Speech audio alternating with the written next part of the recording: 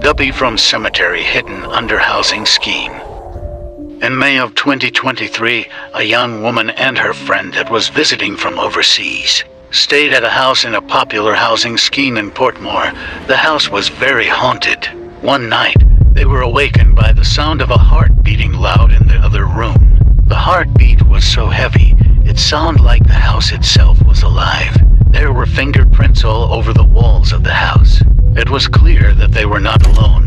Whatever was in that house became even more malevolent. Follow Jamaican True Stories. They couldn't get another night's rest. The place was so haunted, especially the kitchen. It was like they were being watched. And what made it worst is that they could tell that there was more than one evil spirits there. They tried sprinkling salt at the windows and doors.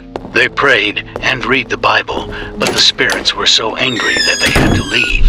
They called a taxi and were on their way to another location. They started to tell the taxi man about what they experienced. And the taxi man had an interesting story to tell them. The taxi man said that the scheme was built on a graveyard, and the piece of land that the housing scheme was built on was where people would dump the bodies of people that they needed